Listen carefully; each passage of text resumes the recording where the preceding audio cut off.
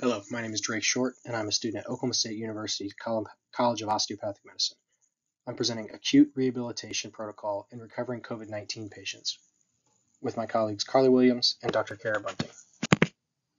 Long-term COVID-19 infection is known to have extensive symptomatology that can include cardiovascular, pulmonary, respiratory, neuromuscular, and psychologic systems. These complications can be acute, but they have the potential to persist as long-term sequelae. Previous research has demonstrated that acute inpatient rehabilitation benefits the long-term health and recovery of patients that have long-term functional deficits as a result of COVID-19 infection. However, COVID-19's broad effects can make these plans difficult, and typical measures of rehabilitation progress do not fully encompass the functionality picture that can exist in COVID-19 patients. A potential, a potential solution that we sought to research is to incorporate objective cardiovascular, pulmonary, and musculoskeletal measures that can aid in COVID-19 functionality measurements, like heart rate, oxygen level, oxygen saturation, and compare them from admission to discharge, looking for statistical differences. Our study was a retrospective study looking at de-identified medical data from a specific patient population. These patients were admitted to the inpatient acute rehabilitation unit following hospitalization for COVID-19 related causes. Initial rehabilitation diagnoses of critical illness myopathy, critical illness polyneuropathy, and pulmonary debility were included in the study. At admission and discharge, we, we extracted heart rate, oxygen level, oxygen saturation, gait distance, and quality indicator walking subscale scores. The walking subscale score involves measuring a patient's ability to walk 10 feet, walk 50 feet with two turns, and walk 150 feet. In addition, we looked at assistive device status and discharge disposition. Our study initially included 54 patients, which ended up including 48 after six were excluded due to their leaving against medical advice. The average length of rehab stay in these patients was 11.6 days.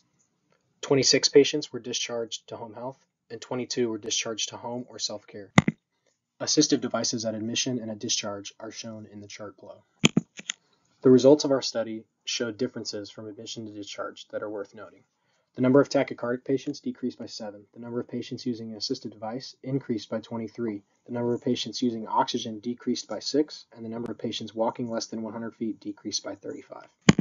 Quantitative measures showed a, a significant change from admission to discharge in four out of the five parameters we measured.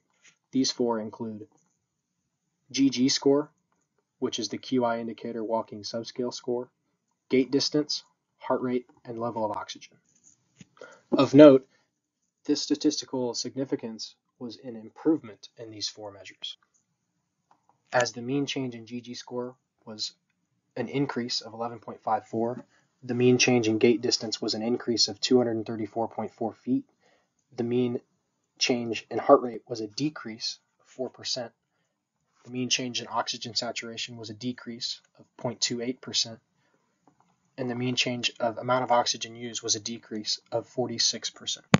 These statistically significant changes suggest that objective measures are worth incorporating in the generalized assessment of COVID-19 acute rehab progress and functional improvement. This data can be used as a starting point to consider using mean change of these objective measures to guide rehabilitation decisions in patients recovering from COVID-19. Future clinical use, after further research, could longitudinally compare these numbers from admission to discharge and, and find specific percent change benchmarks that can guide treatment goals, specifically in the realms of heart rate decrease, oxygen dependency, dependency decrease, total gait distance increase, and walking quality indicator score increase. We'd like to acknowledge Kylie Summers, Doctor of Physical Therapy, for her help, and the Oklahoma State University Center of Health Sciences, College of Osteopathic Medicine. Thank you.